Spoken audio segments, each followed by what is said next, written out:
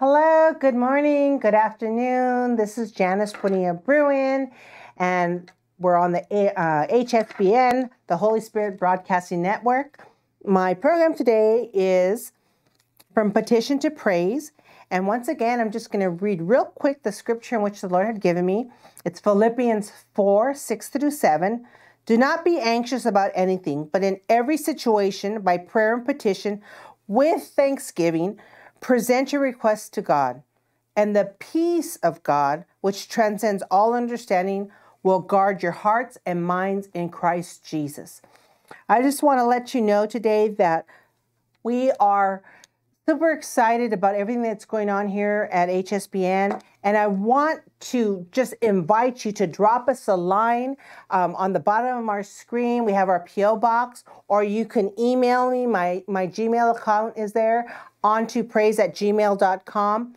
If you need prayer, just to say hello, just to let me know that you're listening, whether you enjoy the show or not, or you know, if the Lord leads you to, to give an offering, please by all means you know, know that everyone here that that is on this network does everything for the Lord. It, it's nothing is for any jingle in our own pockets. Everything is sown into the kingdom, and that's what makes being part of this HSBN family so beautiful.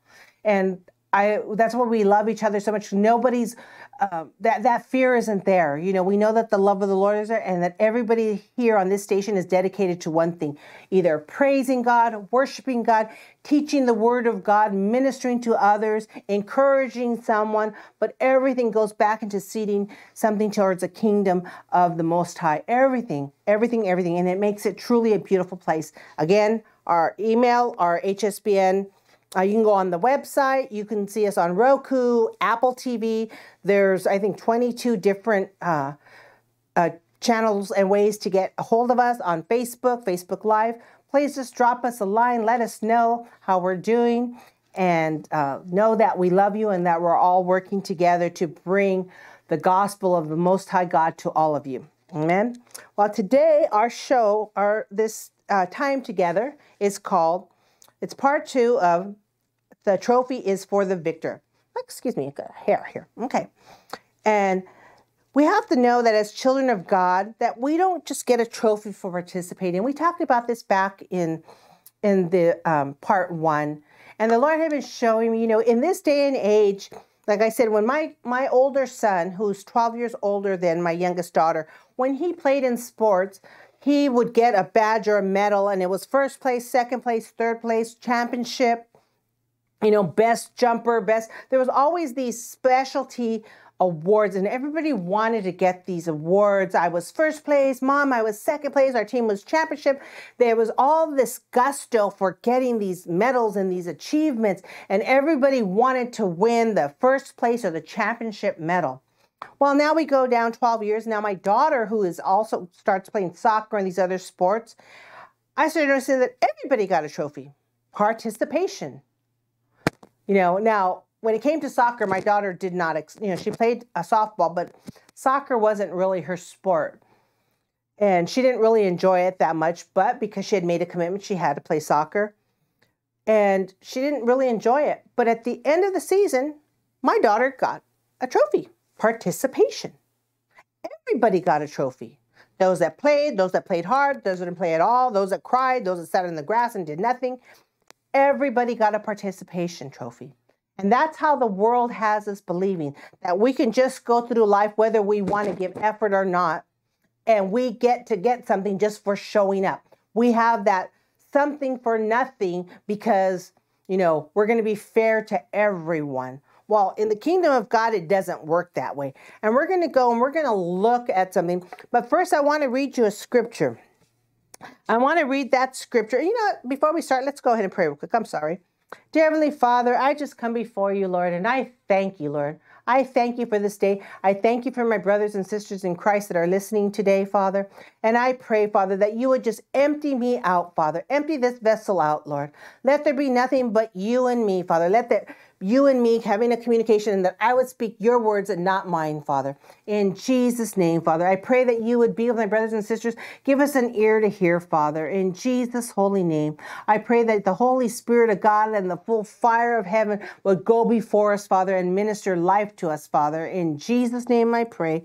Amen have to give the Lord all his honor and his glory. But let's go ahead. We're going to read this is this is the King James version of 2 Timothy 4 7. It says, I have fought a good fight. I have finished my course. I have kept the faith. I have finished my course. I want to read it again, but I'm going to read it in the Amplified. And it says, 2 Timothy 4 7, I have fought the good and worthy and noble fight. I have finished the race. I have kept the faith, firmly guarding the gospel against error. And sometimes I know it says that we finish, it means that we're continually moving forward. A part, we don't get a participation of, we don't get to get the gift of salvation and all that He puts in us and just sit there with it. We don't get to do that. We have to get up and we have to hear what God wants us to do. And it doesn't mean that everybody's an evangelist and everybody's a prophet and everybody's a pastor and everybody. No, it means every one of us are ministers of the gospel. Every single one of us are called to be ministers of the gospel. It doesn't mean that you have to be on Facebook or you have to be on TV or Roku or you have your own channel. It just means even in your own home, even as just your neighbor, the people at the market, you can minister the gospel. We're all called to be ministers of the gospel. And we don't do it on our own because God gives us when we do it through Christ Jesus, we can do it. We can we can run the race. We can do what He's called us to do because He's the one that calls us and He's the one that equips us. Psalms 18:35 says, "You have also given me the shield of your salvation, and your right hand upholds me, and your gentleness makes me great." He's the one He's the one that goes ahead and he's the one that fortifies us. He's the one that comes and he brings us um, victories. He's the one that gets us to keep on going through the race. He's the one that supercharges when we get weary. He's the one that says, Here's my shield, take it, daughter, run, keep on running. Here's my sword, daughter, keep on fighting. If we abide in him, he will abide in us, and he will give us what we need to run the race. In Psalm 60, 11 to 12, it says, Oh, give us help, the adversary, the adversary, for deliverance by man is vain. Though God we shall do valiantly and is. He will tread down our adversaries. Right there, it tells us that He's the one that will help us with the good race. When we say, Oh, I'm running my race, but you don't know what's coming at me, all of us have things coming at us. If it's not today, it's going to be tomorrow. If it's not today, it was yesterday. All of us find ourselves in hurdles, running our race, and things are coming. We're like the.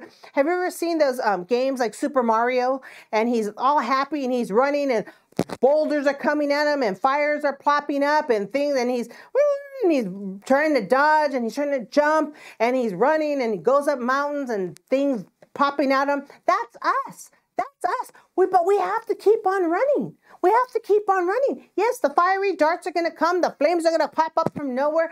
Boulders come rolling at us, but we got to keep on running in the race. What happens? The only way that we become the victors is if we keep on running.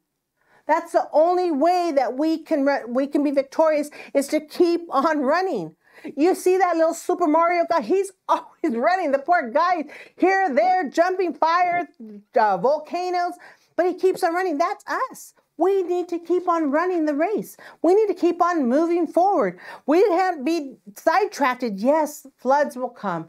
Yes, but the Lord says that He will equip us. He said that He will equip us if we run. Let the Lord go before you. Say, Father, I'm going to run this race. And if you keep your eyes on the Lord, keep Him, the author and the finisher of our faith, if you keep your eyes on Him, even though things will come at you, you know, you know that as long as you have your eyes on God, that He will be there to help you up, to lift you up, to put out His shield. He'll give you the battle axe. He'll give you the sword. He'll give you a way of escape. It says, um, Psalms 44, 3 to 7. It says, For by their own sword they did not possess the land, and their own arm did not save them. But your right hand and your arm and the light of your presence, for you favor them. You are my king, O God. You are my king, O God. Hallelujah. Further down it says, But you saved us from our adversaries, and you put to shame those who hate us. Let the Lord take care of the obstacles. You need to keep on running. You need to keep on running. Don't depend on man.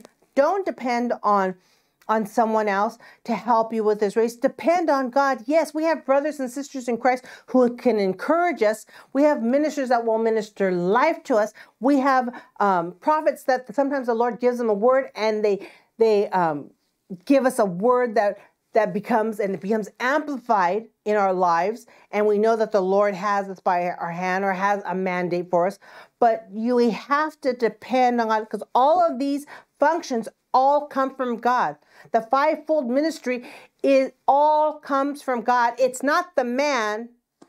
It's the creator. It's not the man. It's never going to be the man the man can't heal you. The man can't give you a prophetic word. And if he does, then guess what? You don't want that. The man can't heal you. He's not the one that saved you. He cannot be the one that in, is the one to enrich your life. He gives the words which God's given him to enrich your, enrich your life. I was watching the other day there was a woman giving this beautiful testimony about a beautiful word and some things that the Lord had revealed to her through this particular prophet. It was very, very beautiful. It was very de- detailed. And I started looking at all the comments, and everybody on there was, "What's her name? When is she coming? Oh, can I have her her contact information?" But And it was all about this woman. And I said, "Lord, help us! Lord, help us!" It's not about the woman. If we're ever seeking to run after somebody, guess what? We've taken our eyes off of God. I was really heartbroken when I seen all of these Christians. Oh, I, you think, you know, think, oh, I need her. How do we contact her? Do you have an email for her? Her, her, her. Guess what? I have an email for you. Get on your knees. You know, at Jesus, at the Most High That's where you're going to get your answer. On your knees. If you, uh, I need to contact her, you need to get on your knees and contact the Most High God. You don't need to be getting a hold of someone to get you. Yes, there are people that are called for deliverance and healing and restoration. Yes. But when you are so focused on getting a hold of this person that's in deliverance, th- these big names, when you're so, when you're so, um, in need of pulling down these big names because you feel that they're they're not the ones that deliver you. They are not the ones that heal you. Don't put your ha- your eyes on man. The gifts come from God. The gifts come from God. Yes, and he uses mighty men and women. He uses them all the time for healing. He uses them for restoration. He uses them for deliverance. Yes, yes, yes, he does. But we have to be very careful, brothers and sisters, that we do not put our eyes on that person because we get ourselves in a lot of trouble when we put our eyes on that person.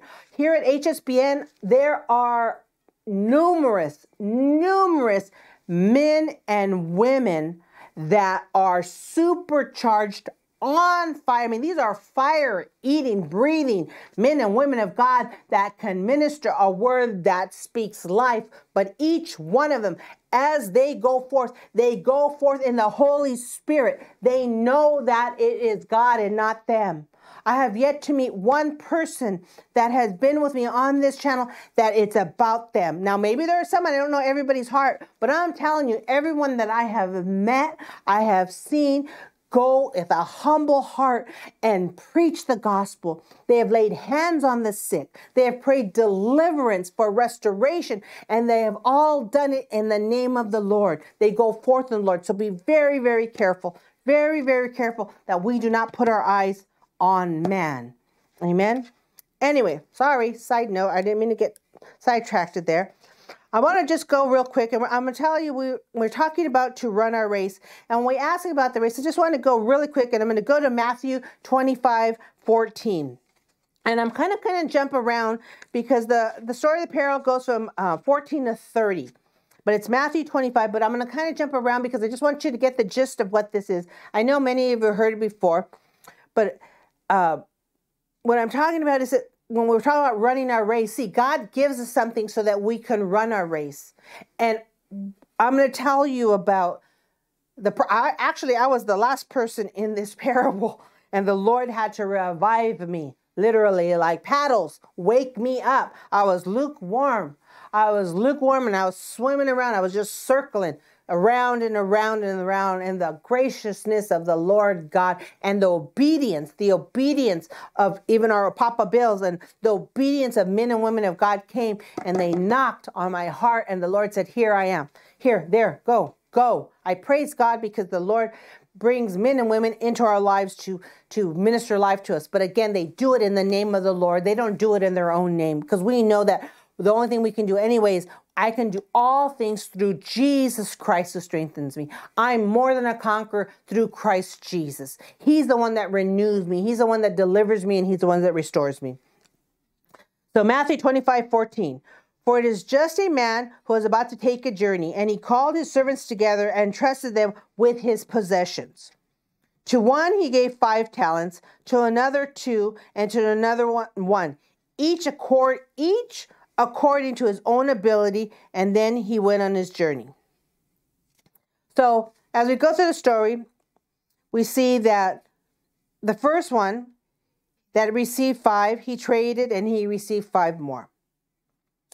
The second one that had received uh, one, who had, and the one who had two, gained two more. So the one that had five, he got five more. The one that got two, he got two more.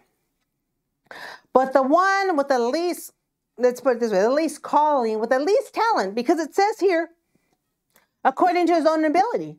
So he had the least because he was doing the least. He was least, he had least ability.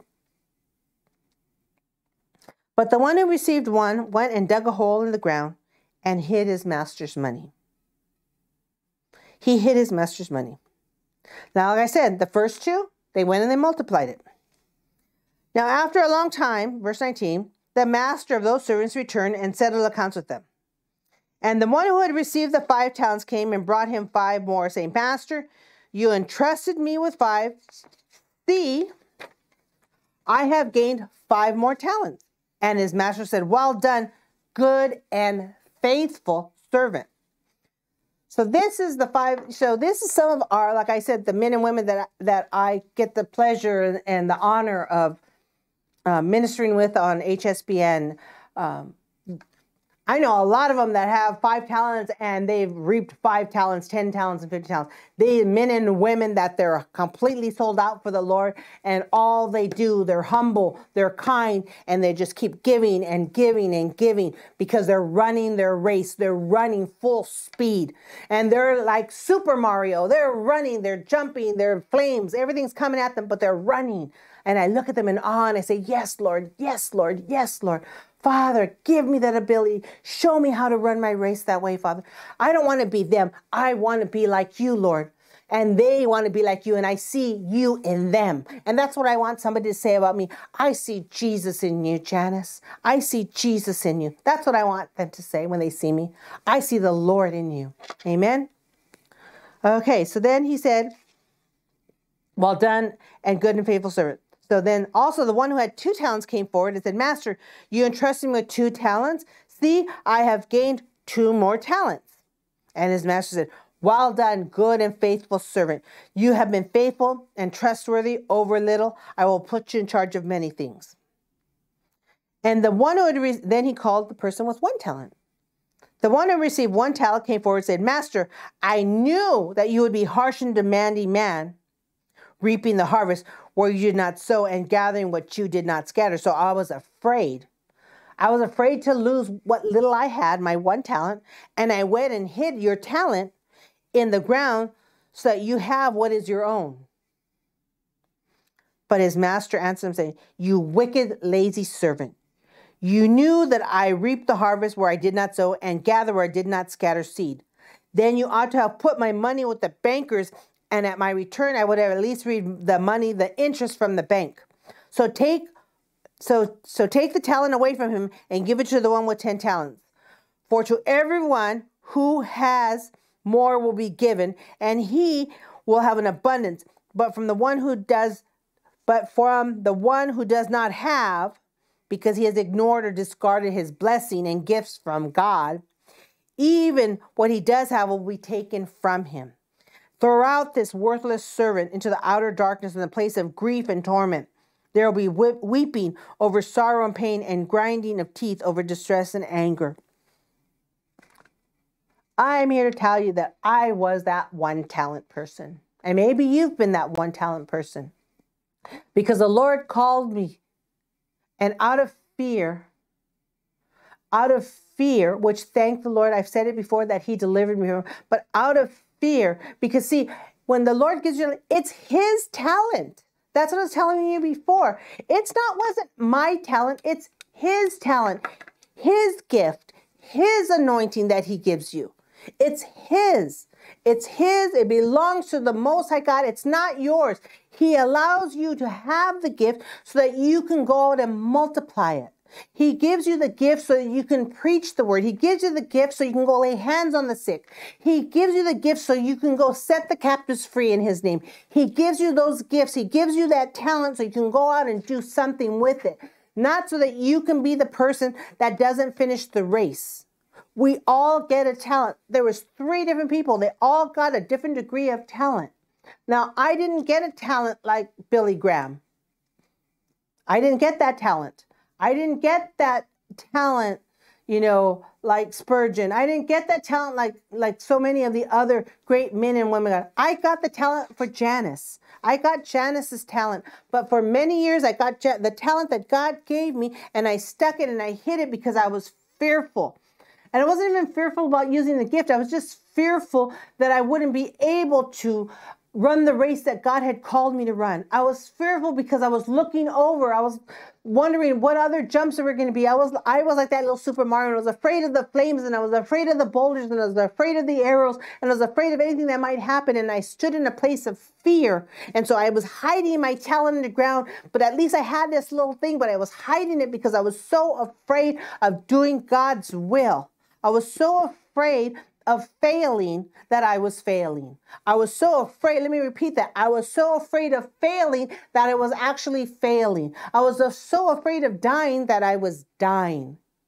I was trapped. I was trapped in my own head and I wasn't running my race. I wasn't running the, the good race. I wasn't fighting the good fight. I was sitting there under was sitting on top of my talent hoping that that I somehow was going to get a participation trophy in life.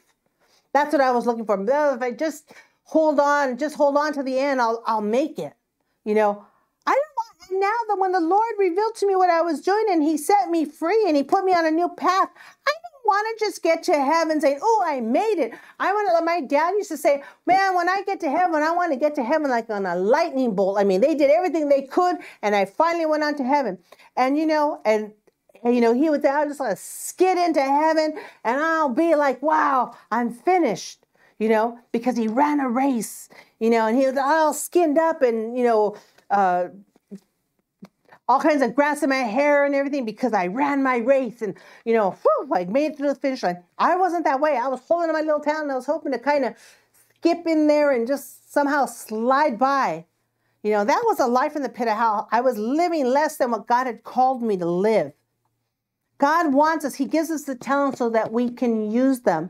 He gives us the talent so we can bless others. And when we bless others, our soul gets blessed. Our soul gets blessed.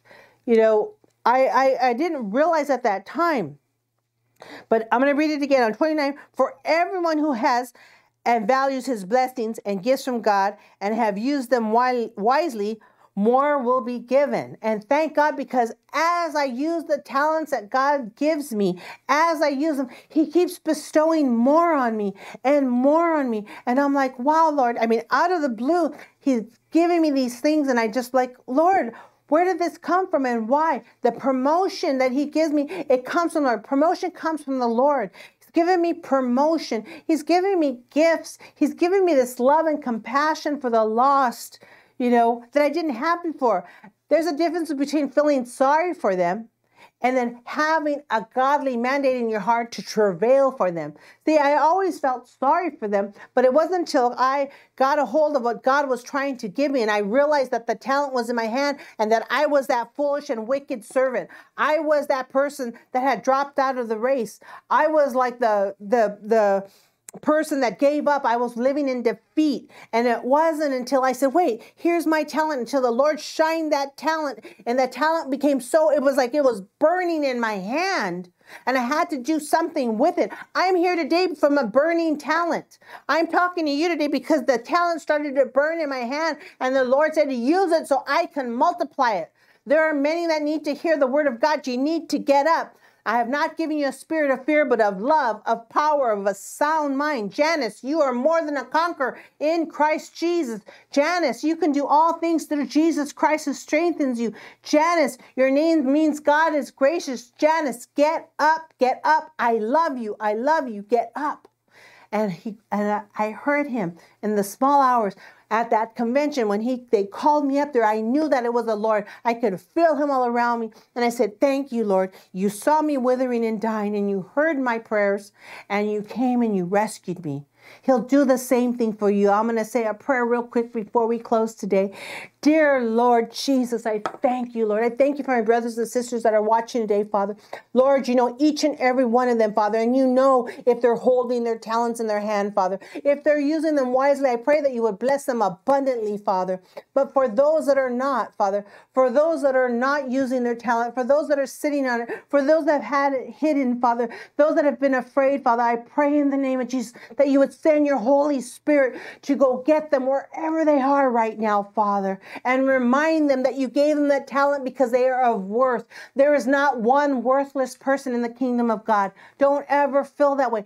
Pick up your talent. Lord, send the talent. Show them, Father. Show them by your Holy Spirit. Send ministering angels. Send brothers and sisters to encourage life to them, Father, in Jesus' name. And Father, if they don't know you, Father, if they don't know you, Father, I pray, Father, that you would send laborers, Father, to go out and minister the gospel, that they would come to know you, Father, that they would understand what I'm talking about, these talents, that they would understand what it is to run this race, Father, in Jesus' holy name. Meet them wherever they are, Most High God, I pray. In Jesus' holy name, you are faithful God. You are loving God. You are the Most High God. You are the Alpha and Omega, Father. You're the author and the finisher of our faith, Father.